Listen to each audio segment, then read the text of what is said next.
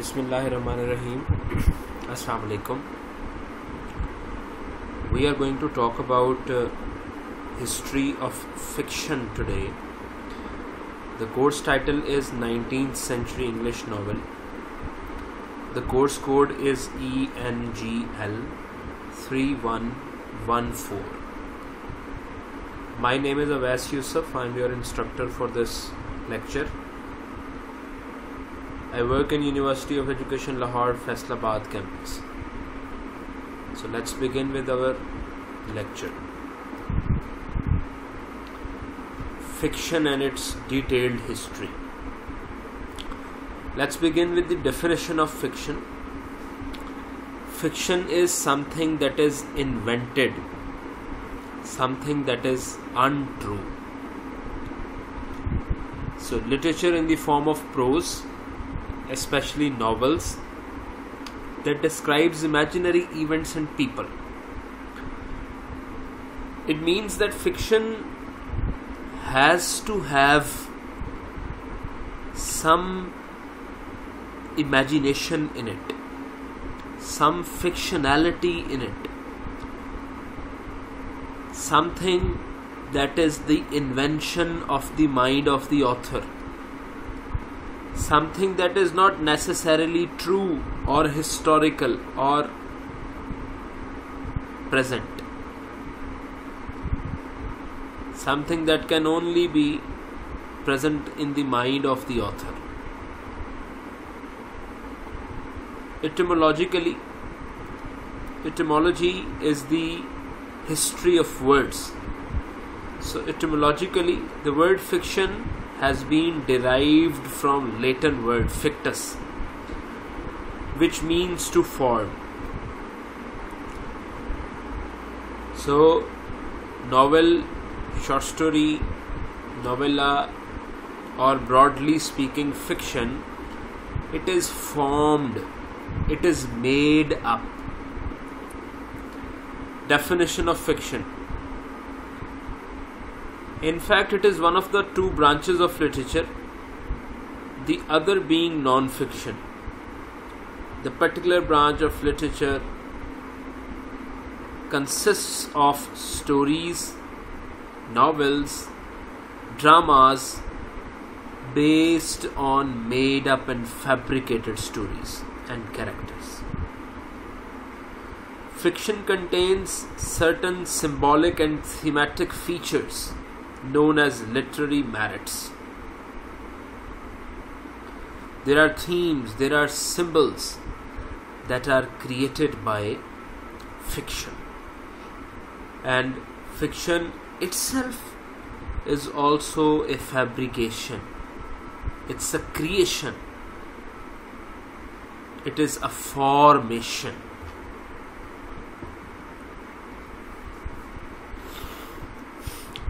In other words, fiction narrates a story which aims at something bigger than merely a story.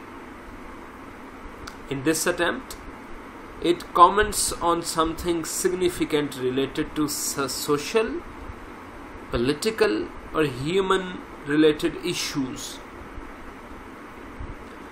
It means that fiction not completely can be labeled as something untrue.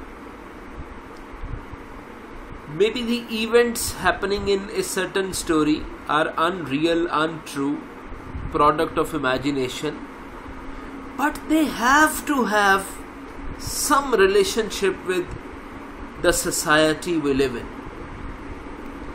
They have to have some connection with human beings with human life, with its social, political, emotional, personal, individual, collective affairs. Let's just take an example here. There is a famous novella by George Orwell, Animal Farm. The story is set in a farm consisted of animals and run over or ruled over by humans. The animals one day decide to overthrow the rule and establish their own rule. Two pigs become the kings. And what happens further that the pigs take control of the farm and start exploiting the other animals. There are a few commandments written there, few rules written there. One of them was very interesting. It was all animals are equal. But the pigs, having acquired power, wrote, All animals are equal, but some are more equal than others. Now, this, this alteration of the fact symbolizes that it is very much related to our society, our political arena, our human issues. Power corrupts and absolute power corrupts absolutely. And this is completely human.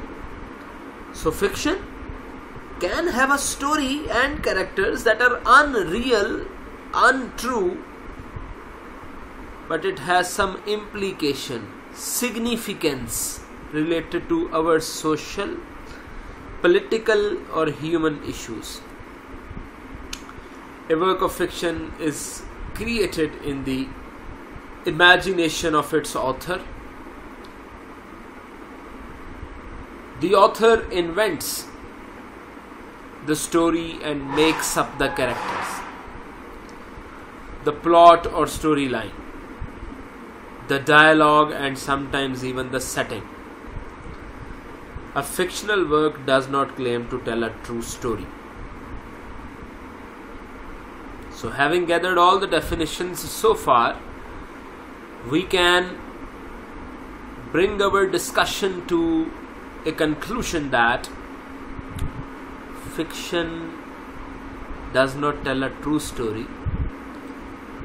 It has imagination mixed in it. It has fictional elements, fictionality hovering over it, but it is nonetheless, nevertheless, however, related with human society related with our social, political, economical, personal, individual, and collective lives. Instead, it immerses us in experiences that we may never have in real life. It introduces us to types of people we may never otherwise meet and takes us to places we may never visit in any other way fiction can inspire us, intrigue us, scare us, and engage us in new ideas. It can inspire us. It means it has a relationship with our society and it can inspire in making a new set of habits, in forming a new set of traditions, conventions, or changing the already established inventions. It can intrigue us. It means it is about us. Anything that is not about us remotely, anything that does not have to do anything with us, can hardly intrigue us. It can scare us. Like the stories of Edgar Allan Poe, it can scare us. Again, the stories of Edgar Allan Poe, they might not be true. They might not be real. But they scare us because we live in a kind of a similar society that is presented by Poe. So, fiction can inspire us, intrigue us, scare us, and engage us in new ideas. It can help us see ourselves and our world in new and interesting ways. So we can imagine having a new world by reading fiction. We can imagine creating a new world by reading fiction. Maybe all the scientific development that we see today is a result of the product of somebody's imagination. The flying cars we have maybe were a product of imagination. Archaeology versus fiction. Historically, there was something like a Trojan War, maybe even several Trojan Wars, in fact. But the one Homer wrote about in the 8th century before Christ is the one that fascinates us because it is fiction. What is difference in history and fiction? You pick a ve- very fine book written by a historian as history. You read it through, but you do not get lost in it. You pick up a fictional account of maybe half the length, but you are carried away. You get lost in the words. So, archaeologists doubt that any Trojan War began because someone named Paris kidnapped someone named Helen from under the nose of her Greek husband. That is the beauty of fiction. Fiction made you believe that the Trojan War, the great Trojan War, happened because of Helen, happened because she was lost. Archaeologists, they doubt it.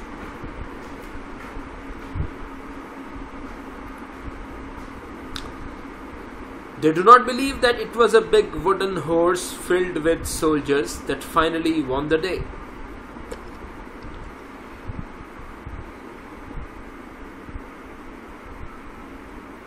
And those particularized gods running the war for their own purposes, deflecting arrows, inciting human rages, turning hearts and controlling history, might have kept the Greeks and Trojans at it for years and years.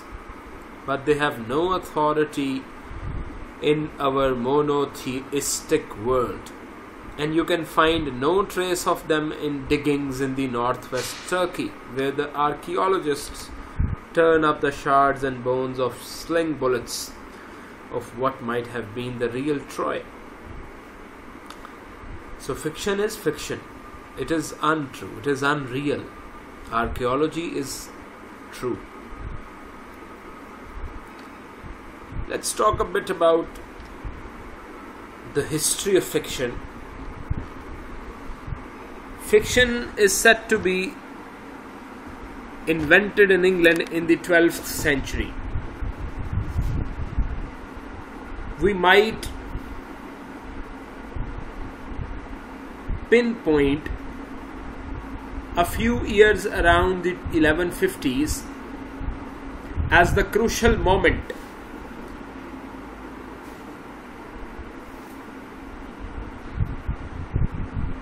At the middle of the century, England had a multilingual literary culture, three languages in constant, fruitful contact, and a hybrid national culture in the making. It had just emerged from a long and bitter civil war. The conqueror's son, Henry I, had died in 1135, leaving a daughter, Matilda, as his only legitimate heir, and her cousin Stephen of Blois had seized the throne. When in 1153 King Stephen finally made peace with Matilda's son Henry of Anjou, who came to the throne as Henry II. The following year, he was accompanied by Eleanor of Aquitaine. She brought with her one further addition the culture of the troubadours. The celebratory lyric poetry and music of courtly life and love, which originated in southern France. This was the world into which fiction would make its entrance. What are the implications of the emergence of fiction for medieval society? Fiction is not magic, it does not transform the world, but fiction participates in the world's transformation. We cannot say that somebody wrote fiction and transformed the world, but fiction does have a place in transformation, it does have a place in change that comes in the society. Reflects it and influences it. If the 12th and 13th centuries saw a new valorization of the individual, it was taken up by fiction in a great array of new possibilities. Tragedy began to be written again. For if an individual's self fulfillment is a high goal in itself,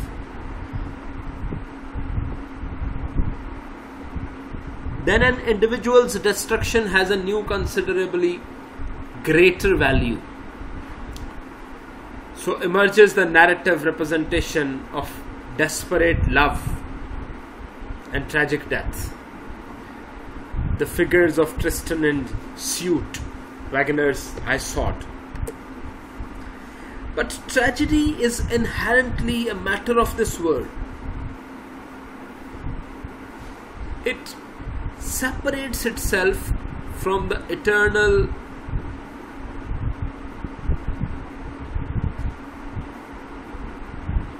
justice of God. Implicitly or explicitly denying the force of that justice in a society where tragedy can be written, something has shifted in the understanding of reality. It was in fiction that the aristocratic ideology of chivalry could make its greatest claims for the secular life. In the repeated spectacle of worldly knights being rewarded, with heavenly favor, the romance embodied the new spiritual self assertion of the elite. More than this, in exploring individuality, fiction was participating in one of the greatest shifts in English society.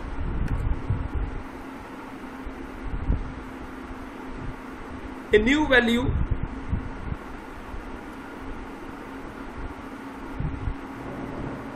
given to the individual involves a different understanding of the nation at large. Not a rigidly structured whole embodied by the single figure of the king, but rather a gathering of competing voices, each with their own value. This simple idea is the foundation of the concept of a parliament and a public sphere. Fiction provides the infinite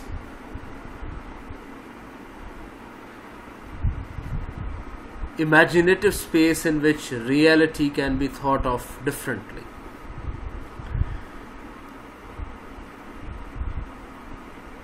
It does not transform the world. Nevertheless, it is difficult to imagine a world in the process of transformation which could manage without fiction. What fiction does in the transformation of a society, of a nation,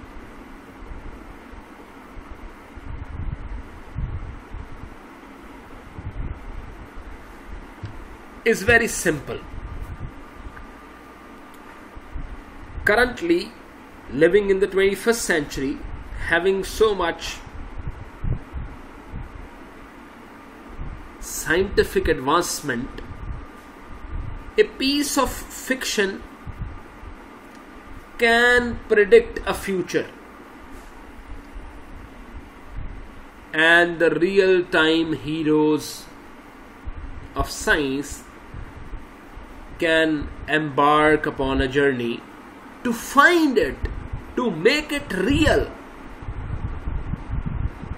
As maybe the flying car, cars, flying saucers, aeroplanes, medical science, it was all a fiction at some time in history and it became a reality. It does not mean that fiction is transforming, but it is there in the process of transformation. It is there.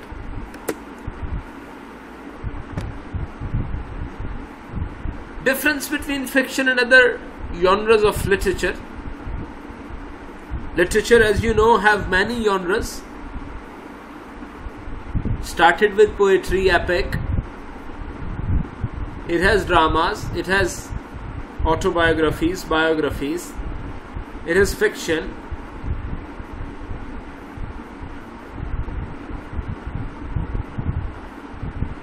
So, difference between fiction and other genres of literature.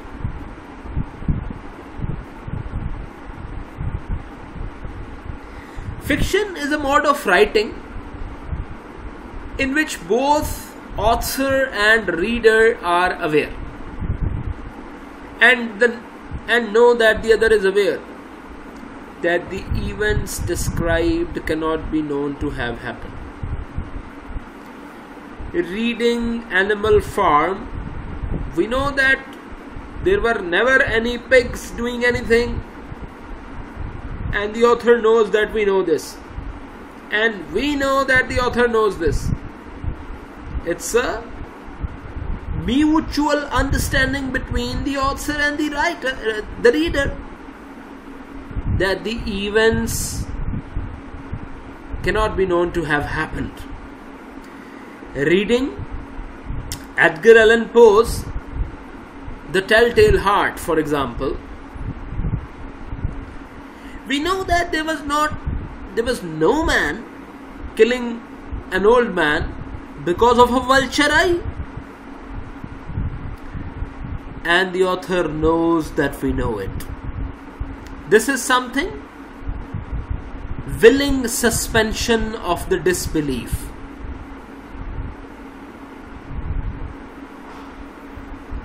This is not to say that they or something very like them might not have happened. It also means, yes, that necessarily the events presented are untrue. Something like them might have happened.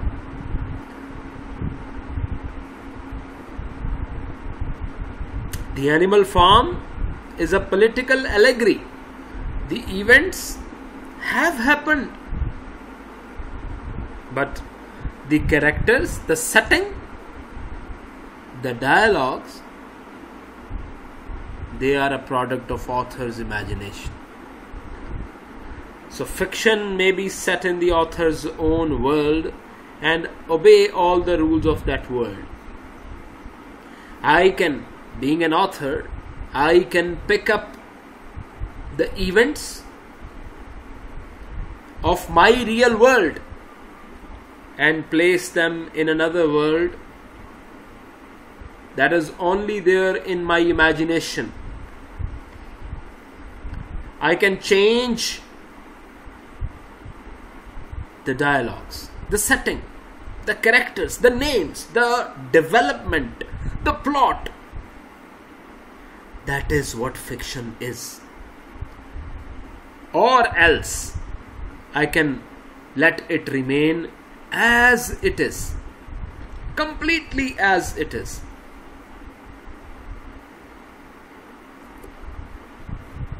But fiction gives an account of something unverifiable. If I write a piece of fiction, or if if Poe wrote The Telltale Heart, or if Animal Farm is there by George Orwell, they are unverifiable. You cannot go to that place to verify whether it happened or not. So, fiction gives an account of something unverifiable and which does not ask to be believed, only to be thought about it. It's a contract between the author and the reader, the writer and the reader, the provider and the provided. This qualification differentiates fiction from the pre existing forms of untrue literature, epic, lyric, both of which demand a very different response from the reader. You need to pay attention to this line. Epic and lyric can also have untrue depiction, but they demand a different response from the reader. In fiction, reader and author know, both know.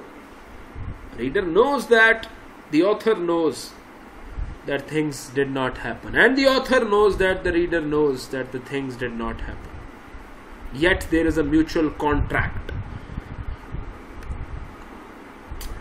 Epic poetry offers up a mythical history of the present time with an insistence on the essential truths it contains about the nature of the past and its legacy.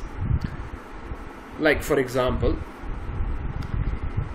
Virgil's Aeneid,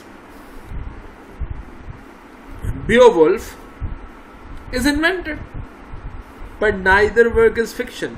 Why? Because each functions as history and as ideology correspondingly lyric poetry, the old English elegies of love, loyalty, and loss, is not fiction. They are also, or they can also be untrue, but they're not fiction. The lone speaking voice of the poem demands acceptance of the truth of its lament the author may only be imagining the emotions expressed. But if the reader decides to disbelieve them, then there is nothing left in the poem of value. The lyric is potentially true. The author knows whether or not he is describing a real experience. And so it is not fiction. Fiction is concerned with what is unknowable. This word is very important. What is unknowable? I'll explain it. One thing above all is genuinely unknowable, and it is the supreme matter of fiction that is, what is going on in anyone else's mind. This is fiction. To approach what is happening, going on in anyone else's mind. What is it like to see through anyone else's eyes? The author makes us see through his eyes. when he says that the room was this long, this short, this was the length and width, we see from his eyes. When the author says that the lady coming was walking with a certain gait, had a certain certain height, certain weight, certain features, certain complexion, we see through his eyes. When the author tells us that in, in the drawing room of a certain house, there was a table of that certain length having those certain things on, on it, we see through his eyes. It is this entirely imagined experience which fiction offers us access to the unknowable reality of other people's inner, inner lives. There are interior monologues like the one written by Virginia Woolf, having stream of consciousness. And what happens in that novel? We go inside people's inner lives. In the present day, the notion that is a motivation for reading and indeed a moral justification of fiction is so well accepted that it is almost a cliche. This is the last part of the lecture. Types of fiction. There are three main types of fiction. The short story the novella and the novel. Let's explore each of these first we have the short story according to the famous short story writer edgar allan poe a short story is a piece of fiction that can be read in one sitting of about a half hour to about two hours.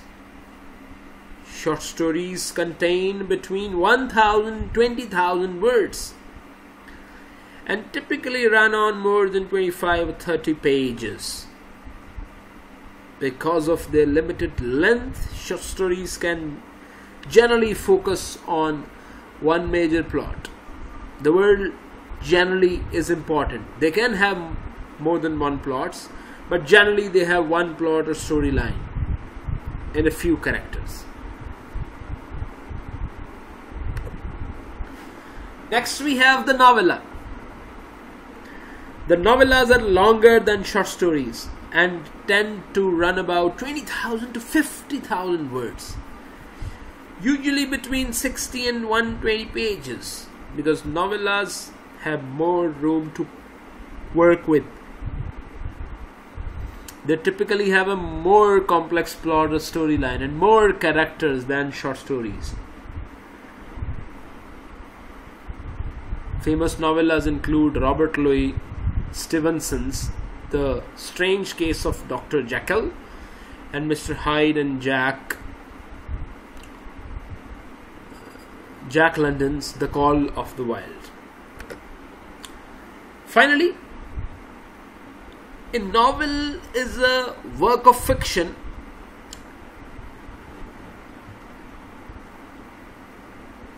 that contains over 50,000 words or 120 pages. Novels are even more complex than novellas and they usually have more than one plot or storyline and many well developed characters. Novels can be as long as their authors want them to be. There is no outer limit to their length. The minimum limit is 120 pages and above. The outer length is not limited. In fact, the longest novel ever written is a 17th century work, Marienbad My Love by Mark Leach, and that contains over 2 million words and more than 13,000 pages. So there, there is no specified length in the outer sense.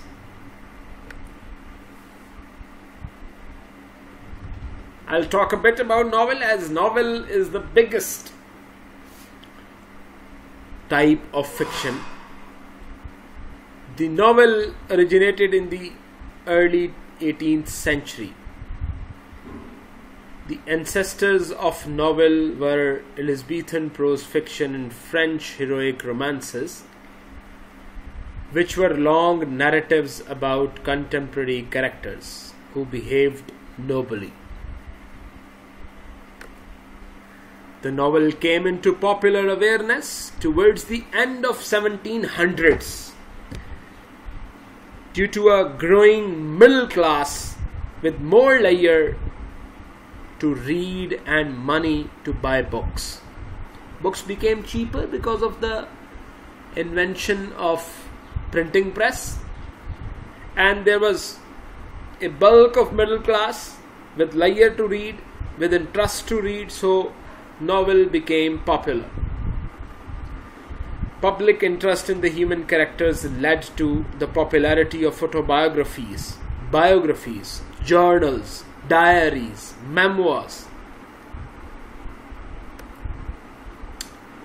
The early English novel concerned themselves with complex middle class characters struggling with their morality and circumstances.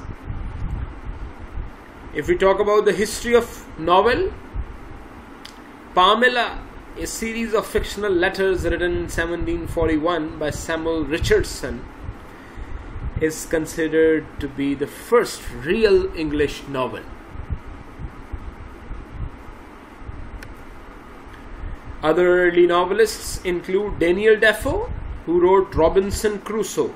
Robinson Crusoe became very popular Moll Flanders got its fame,